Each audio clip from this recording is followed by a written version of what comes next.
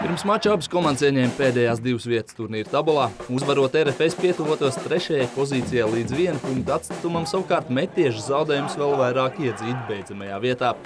Pēc līguma izbeigšanas ar Baltkrievu klubu Bāta RFS rindas papildinājis pieredzējušais aizsargs Kaspars Dubra, tomēr viņš maču sāk uz rezervistu soliņa. Spēlu aktīvāk sāk RFS, Mets vārdsargs Dāvs Sošs vairāk kārt glāba savu komandu, tomēr pēc piespēles soda laukumā otrajā stāvā veiklākais bija mainieki jauniegums Eduards Višņakovs, RFS vadībā ar 1 pret 0. Lai arī mainiekiem bija nospiedošs pārsvars pirmajā puslaikā un bumbu vārtos viņi vairs iedabūt nespēja. Otrā puslaika sākumā meta pēc RFS kļūdas varēja rezultātu izlīdzināt, tomēr izgājiens viens pret viens palika neizmantots. Uzreiz pēc tam par asu spēli no laukuma noraidīts tik vienīgo vārta autors Eduards Višņakovs.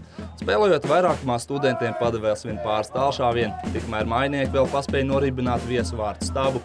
Gal galā RFS uzvar ar 1 pret 0.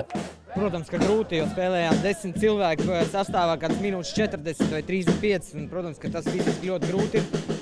Bet eh, prieks, ka izturējām svarīgākais trīs punkti. Diemžēl varējām šo spēli droši vien uzvarēt ar lielāku rezultātu, ja būtu palikuši pilnos sastāvos. Tā kā galvenais trīs punkti. Pateicoties šai uzvarai, RFS pakāpās uz piekto pozīciju no trešās vietas atpaliek tikai par vienu punktu.